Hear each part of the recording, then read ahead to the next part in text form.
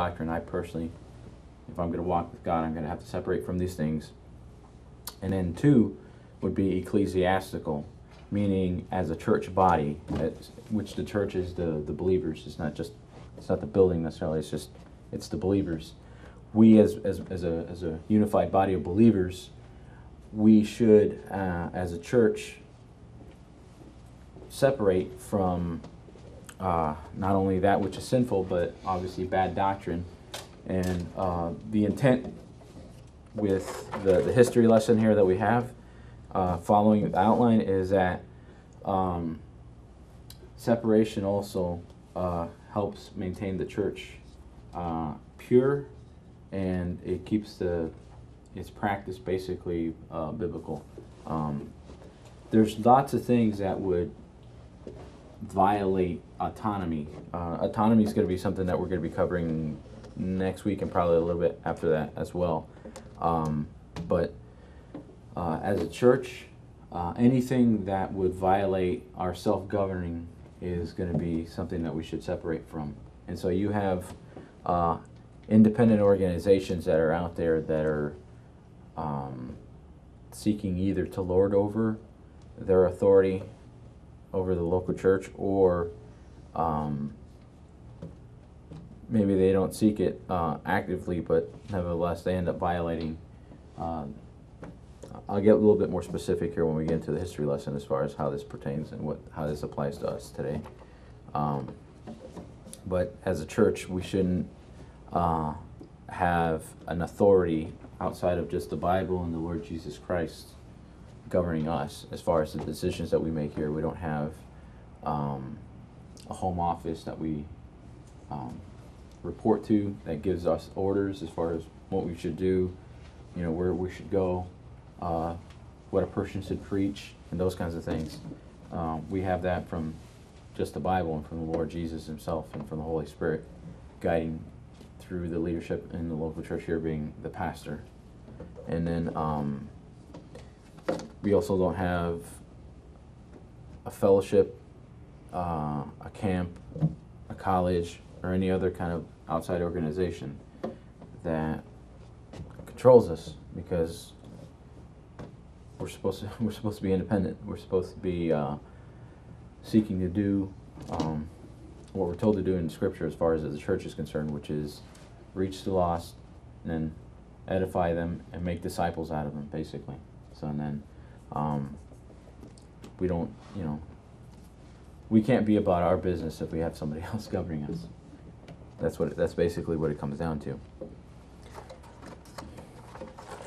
What we're going to see here with the history lesson is um, number of things primarily uh, that are going to be recurring themes. Um, and it seems like we're, we're probably going to beat a dead horse, but it's not. Not that so much as that. Uh, these are things that if we're not aware of, if we're not careful about, in guarding us not just personally, but also as a, as a local body here, that uh, we can fall into the same kind of traps and the same kind of uh, sins and mistakes that these these folks did in the past. Um,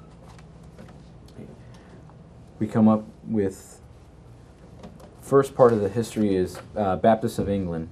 Um, we read here origins of the 17th century. Two groups of English Baptists, General Baptists and Particular Baptists, arose from two separate origins. The names come from the views of each group regarding the atonement, or basically regarding salvation. General Baptists held to a general atonement, and the Particular Baptists held to a particular atonement of the elect. They also differed over some matters of church organization. Basically, what that comes down to is your General Baptist. They're going to be Calvinistic, but they're not. Uh, the one, the Particular Baptists are basically they're the Calvinists, and the General Baptists would be more, I guess you could say, free will.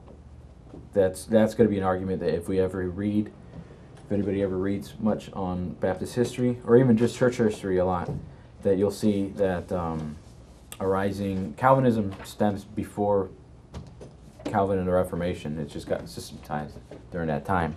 The philosophy actually goes back to Origen in very early hundreds. Um, Augustine, I'm sorry, in Augustine. Um, the particular Baptists are going to be the Calvinists. They're going to be the ones that say that Jesus died for some people and he arbitrarily picks people to go to heaven and hell. Um, so your general Baptists here, um, I'm going to beg to differ a little bit with this, um, as with the article here. Um, I'll tell you, I'll tell you in a moment why it says uh, regarding the General Baptists, a group of Puritans called separatists because they believe in separation of church and state met at Gainsborough, England in the early 1600s when the congregation became too large to meet in one place. The group divided. A part of them uh, began to meet, because um, this is what would happen uh, in Zurich, in uh, Bern, and uh, good large parts of Europe and Germany when you had uh, the Lutherans in charge, or when you had the Presbyterians in charge, they did as the same as the Catholics because they maintained the same structure because that's what they came out of. So that's what they, they remained to because they were just trying to reform it. And so what they did was, if you don't believe like we do, and if you don't uh, adhere to, you know, your your loyalties to the state church, then, you know, we'll kill you, we'll brown, uh, drown you, we'll imprison you, we'll tax you, uh, we'll do whatever we want because if you're not for us, then you're against us. And so, separation of church and state was originally intended for the purpose of being able to freely worship. And so, um, again, this falls not only just under autonomy, but this also falls under individual soul liberty. Um, throughout Scripture, um, when God calls for a person to believe on Him, and when God calls for a person to repent, uh, when God calls for somebody to do anything, um, even though by reason of nature we're obligated to do so uh, because He is God, um, the thing is, uh, He appeals to the will. And so, although He has every right because he is God to be a um, judge over us and to kill us, to strike us down, to punish us for, you know, for our wrong, and you know, for not adhering to Him.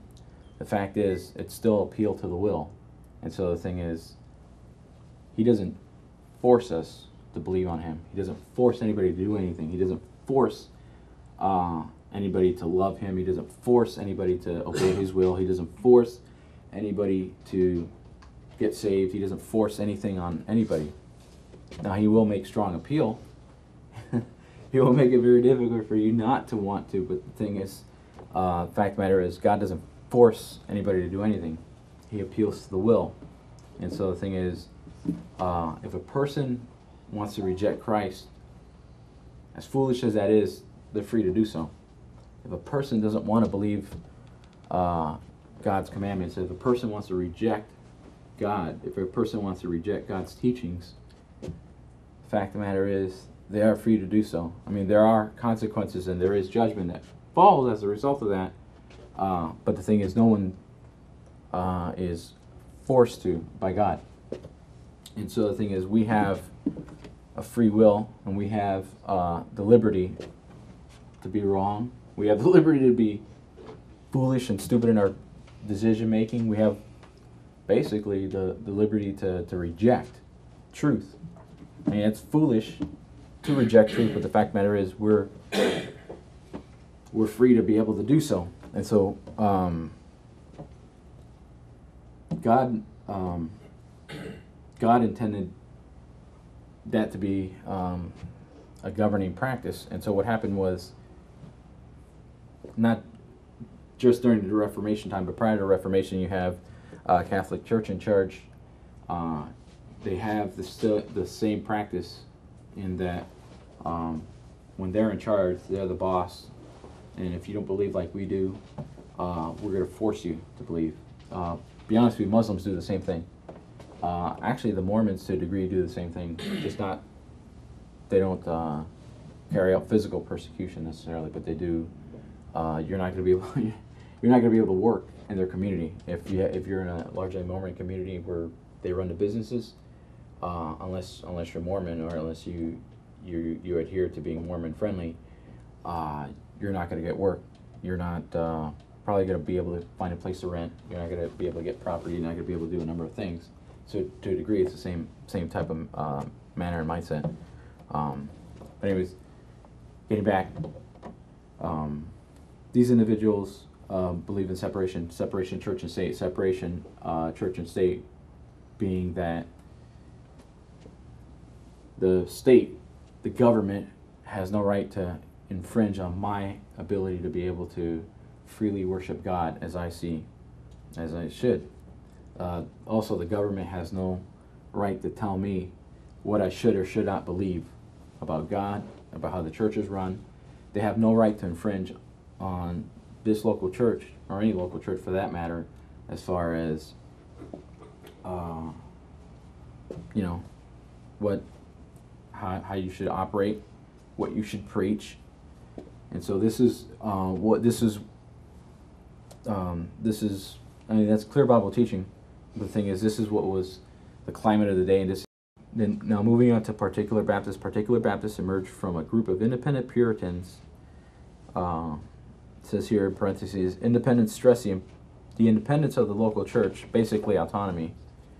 And so, um, in the 1630s, under leadership of uh, John Spilsby, uh, William Kiffin, and William Jesse.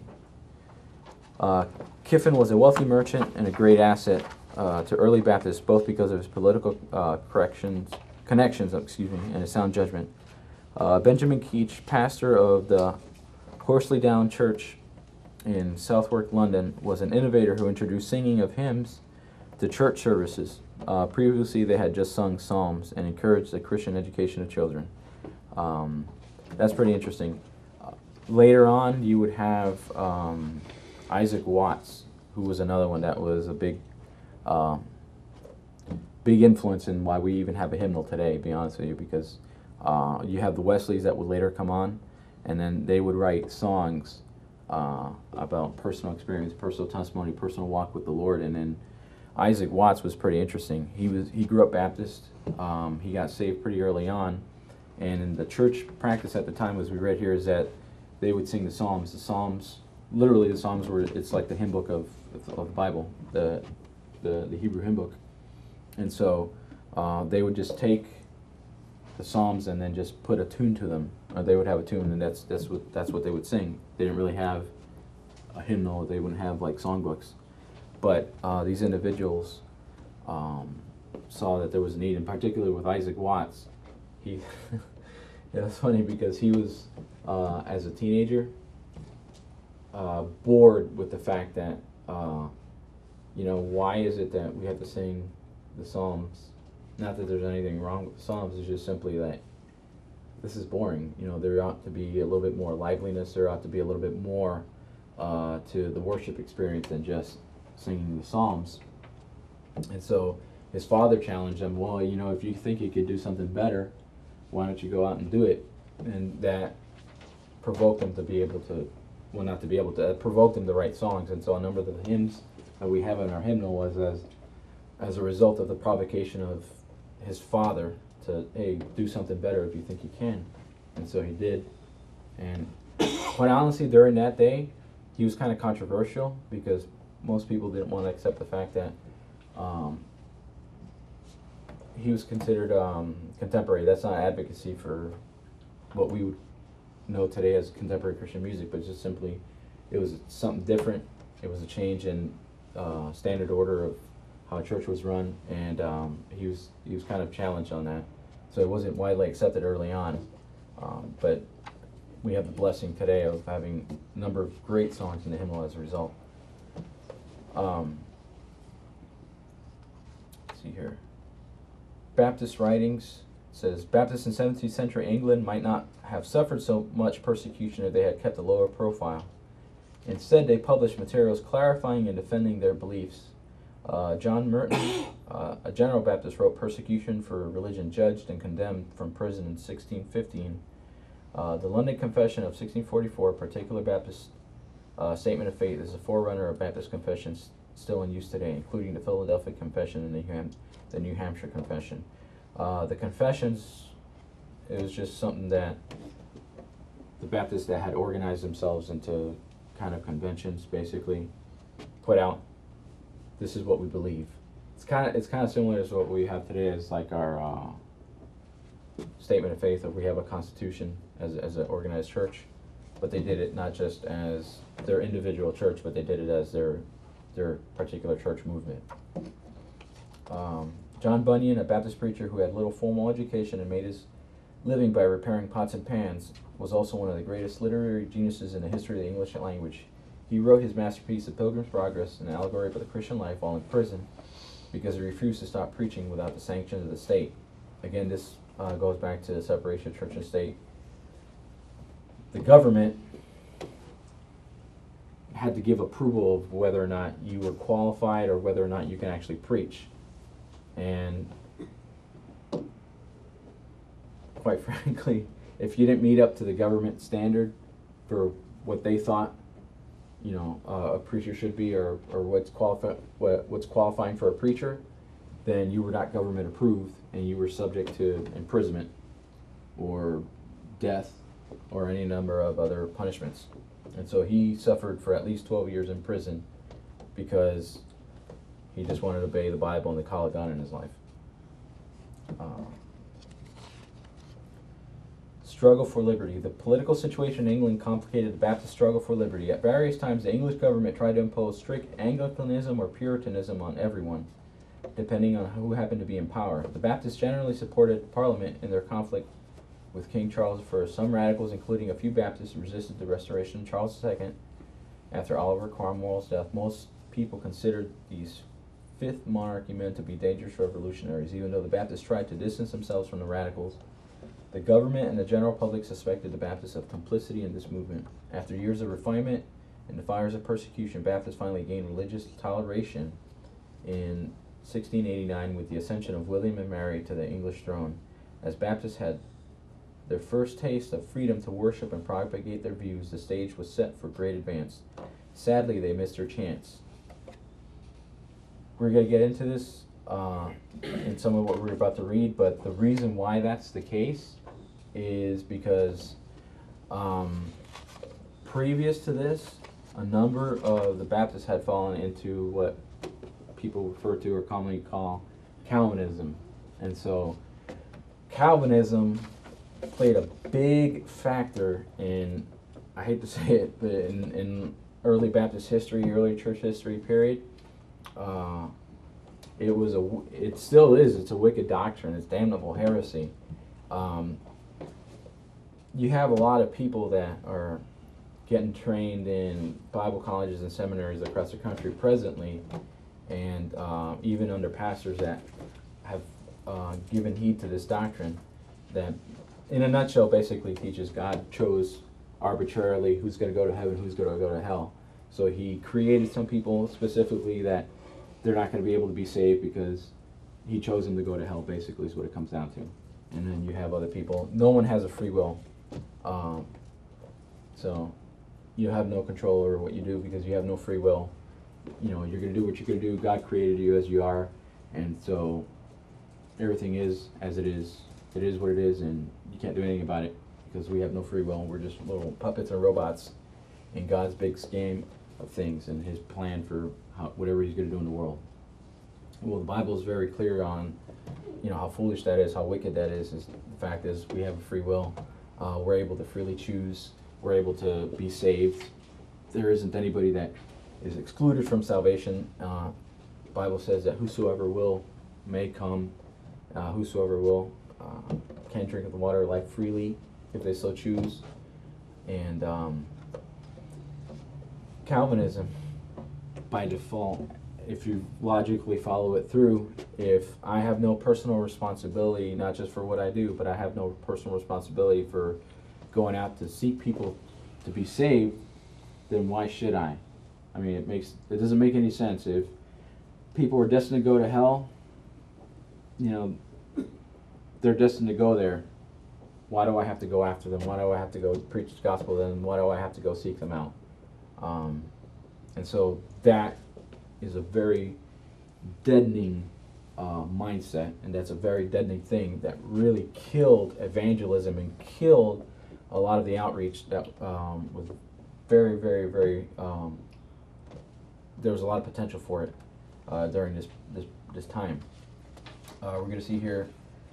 Um, 18th century, the General Baptists and the Particular Baptists faced, faced problems that prevented them from having the spiritual impact on England they should have had. When doctrinal heresy arose, Calvinism, the Baptist the General Baptist sacrificed purity for the sake of unity. In the end, they had neither purity nor unity, uh, nor unity nor purity. The Particular Baptists refused to sacrifice doctrinal purity for unity. In the end, they both had unity and purity, but they lacked soul winning zeal because they embraced they embraced Calvinism, not just a deadening form. Calvinism, period, is deadening. Um, and then one Calvinist preacher who was a successor of Keach at the historic Horsley Down Church. Uh, Horsley Down Church would later become, we'll see here, it's going to be Park Street Chapel. That's where Spurgeon's going to preach, and he's going to have tons of people saved uh, during his his um, his uh, his ministry there. But says that uh, get, get this, the Calvinist preacher, his name was John Gill, boasted that he had preached for more than 50 years and never addressed the unconverted. Can you believe that? 50 years preaching from a pulpit and he never told people how to get saved. I mean, I don't know. To me, that's a waste of time. He uh, published a number of books.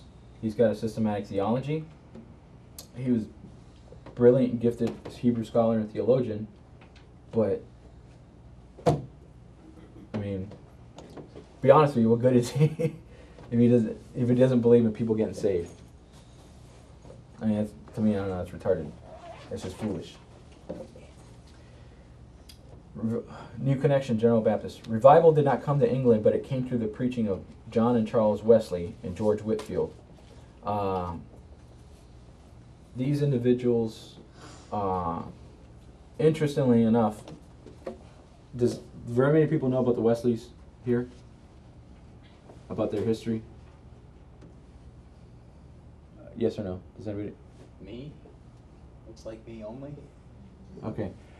Um, John and Charles Wesley were brothers, and they, they came from a very large family. They came from a good, strong Christian home. And they went into ministry, both of them, uh, as young adults, but they were both unsaved at the time. Uh, Charles would be saved first, and he would be saved. Uh, actually, they were both saved in in uh, in England, but they were saved under the influence of, of uh, Moravian preachers. Uh, the Moravians, quick, just quick uh, church history here. Moravians were believe basically they were independent. They, I would be hesitant to call them independent Baptists, but they would be kind of the equivalent. They were just independent believers living out in the middle of nowhere, uh, actually in a largest state in uh, in Moravia, which is kind of modern day Czechoslovakia area, uh, real close to Poland and, and Germany. They um, had been followers of a guy named Johannes Huss or John Huss, who had helped translate. He had translated the Bible into Czech, and he got burned at the stake for translating the Bible. And then, anyway, so he was just an independent believer who got the Bible, read it, believed it, got saved, and taught salvation by faith. And uh, just the way they ran their church, they had a little particular things that were kind of odd, but uh, for the most part, they were they were pretty very pretty sound in their doctrine. And what had happened was you had a lot of these believers that went underground uh, during this time because there was heavy persecution by the governing powers. Most of Europe at this time were run in the same type of mindset uh, that England was run as far as you have a state church. If you're not part of the state church, then you're you're open for persecution, and that's what would happen. So these guys would go undercover, they'd go hide out in caves, out in the woods. They would just find some place that, you know, we can just live. And then um, there was a, a, gentleman by the name of uh, Zinzendorf, Nicholas von Zinzendorf. He was a very wealthy individual. He gave them safe haven, and eventually, what happened was, uh, you had a large community of these Christians that started congregating at his place, and he made his place basically like a big, a big man house is what it came to be. But it wasn't. exclusively men because it was it was all families, and so you had uh, a large community of believers that were living together, uh, getting refuge from the persecution around them. But the thing was, you had a lot of bickering and a lot of uh, just petty um, petty nonsense as far as arguments that were going on between them, and. Von Zinzendorf was burdened about that, and a number of the believers in the area were burdened about that, and um, he would he was very um, he's very devout. He's very uh, zealous for the Lord. He had a very close walk with the Lord, and within about a year, maybe a year and a half, almost two years, you had uh, revival break out. I mean, genuine revival, where you had everybody getting right with the Lord, and you had, I'd say, at least one in every two, if not one in every three. Uh, I may be wrong on those statistics, but it should be very close that of of that community of 300 people. Um, go and be foreign missionaries to literally all over the world. Um, and you had uh, individuals that would sell themselves into slavery, uh, knowing that they wouldn't come back, that probably wouldn't see their families again. As far as, uh, not I don't mean by leaving their wife and kids. I mean like they wouldn't see you know their mom or dad or anything like that. They would just, you know, the world needs somebody to tell them about Jesus. We're gonna do it. We're gonna go. Uh, they they didn't run around seeking support. They found a trade that they can do, and they said, "Hey, we're just gonna go. We're gonna support ourselves by what we can do with our hands." Uh, and they just went out, and that's what they did. They had a prayer meeting that lasted a hundred years. In other words, multi generational prayer meeting that they would pray, literally 24 hours a day. They had a schedule set that you would have, say, um, say, Brother Nick had the time slot of like three to four in the afternoon, and then Brother Chuck, you would have uh, the you know the four to five in the afternoon, and then you'd have you know, Brother Chris, you had maybe like five or six in the morning, and then you'd have uh, Brother Al, you'd have the seven to eight in the morning time slot, and that's how they would just break it up per family, but they would have that unbroken for a hundred years, praying for the salvation of souls, praying for people that get called into missions, praying, praying for pe- the power of the Holy Spirit. Uh, they just it was just a continual prayer meeting that lasted for over a hundred years, and they had a very incredible impact in that uh, you had churches started where there hadn't been. You had gospel being presented and being preached where it had not been before, and you had Bible getting translated. Uh, whole communities were changed. If you go um, up into northern Canada, northeast Canada, north of Newfoundland, there's a little area called Labrador, which is it's very isolated, like basically out in the middle of nowhere. It's very hard to get to, and you have. Um, I have not personally been there, but I have uh, firsthand testimony from our missions professor in college that, that has been there on numerous occasions, where uh, you can you can still even to present day see the influence. Um, communities um, that had had uh, the Moravians in there, you still have some of the churches continuing, even though many of them don't preach the gospel anymore, or many of them have a perverted view of the gospel. But you still have the influence lasting in that the communities that had had Moravian influence in there, that had the gospel preached in there, that had uh, reception of the gospel, are moral. They're usually clean. They're usually, um, you know, just good high educational standards. Whereas the ones that didn't, uh, usually it's high crime rate, high suicide rate, lots of problems and issues with drugs, alcohol, immorality, and those kinds of things. And it's very evident. You can even, uh, according according to him, he told me, you can see it from, you know, within uh, 30, 40 mile just distance. It'd be it'd be it'd be the same difference as saying if Fort Lauderdale took the gospel and and you know people if it greatly strongly impact here, but say Miami ended up rejecting it, and you can see probably a few generations down the, the consequence of that, you know, that's still increasing in wickedness, but then you would have uh, the power of the gospel having impacted here.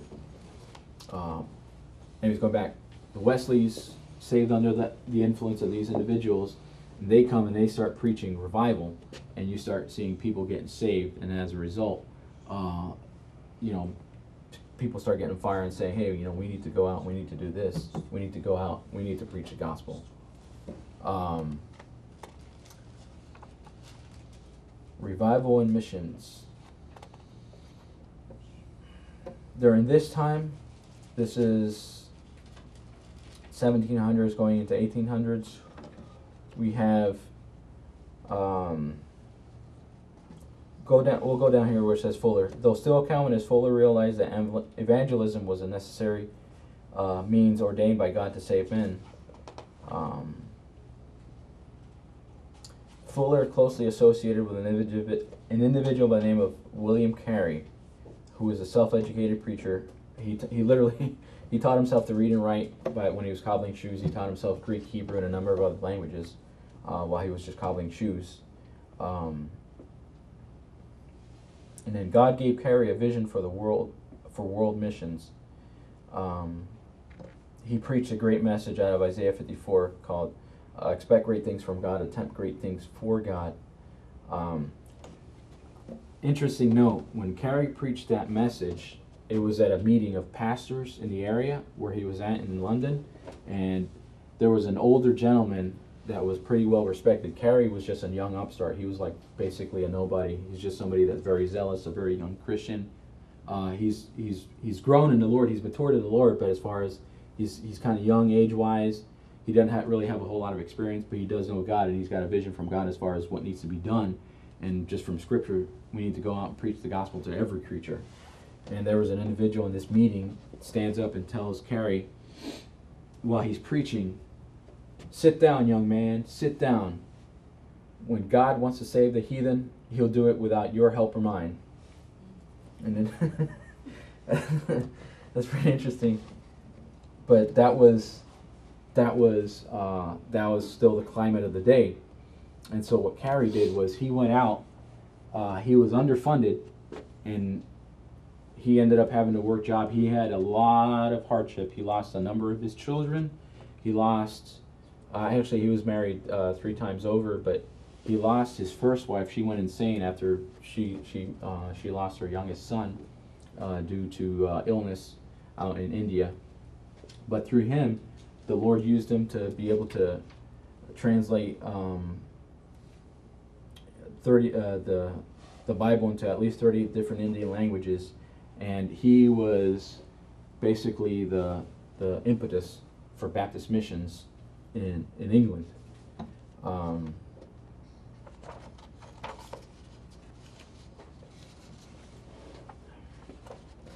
we're not gonna have time for all these individuals I wanted to name. Uh, men of significance here to the U.S. with regard to this time uh, would be just this is just a little bit prior. Isaac Backus, John Leland. John Leland actually is responsible for getting the Bill of Rights instituted into into into the Constitution. Um, what had happened was he was uh, a very uh, prominent, well-respected uh, pastor in Virginia. He was originally from Massachusetts, but he moved down to Virginia, preached in Virginia. Virginia at that time was Anglican rule, and so Baptists were being um, persecuted left and right. So you can you can go to jail and be killed just for preaching the gospel because, you know, the government says that if you're not Anglican, if you don't adhere to us, if you don't follow by our approval standards, we'll take you out. So that's what they would do. During this time, this is during the Revolutionary War, and then after the fact, um, what John Leland did was uh, actually what happened was Quincy Adams came to him and asked him because he was very influential in in, uh, in Virginia, and Quincy Quin, uh, John uh, Quincy Adams had asked him if he can get his support so he could win the election, and um, John Leland told him, "I'll do nothing. I actually tell everybody to vote against you unless you pull the Bill of Rights into the in, into the Constitution." So he. That's why we have it, is because of John Leland's influence. Shubal Stearns, Daniel Marshall, uh, two guys that had a great impact in the South here. uh, as a result of them, the South is the way it is presently. It's not necessarily, I don't mean by racism and that kind of stuff, but I mean like simply the fact that it's known as the Bible Belt is because they came down, they preached, revival broke out, and hundreds of churches were started as a result of their personal influence and their personal work. Uh, and we have Baptist churches still today in existence, and we still have their influence today in the South as far as the Bible Belt is concerned because of their preaching. Judson, Adoniram Judson, he's a very interesting individual, and Luther Rice. This was the first uh, Baptist missionary from the U.S. Uh, who he was was he was actually congregational from New England. He got saved, and then on his way out to India, because he originally wanted to go to India, he ended up in Burma. He translated the Bible to Burmese, and uh, he would stay out there. He would lose, I think, like five kids, and then he would lose two wives, and then he died in his third wife. But um, he, he paid he paid a, a great price as far as to be able to get the gospel to Burma, which they have a great influence of um, Christianity. Believe it or not, they do, and Baptist history as a result of him in particular, uh, particularly in the northwest corner, in the Chin Hills, uh, with the Karen tribes. He uh, was responsible. Actually, Luther Rice through him was responsible in large part for uh, getting Baptist associations for missions and getting uh, Southern Baptists together for sending out missionaries. Um,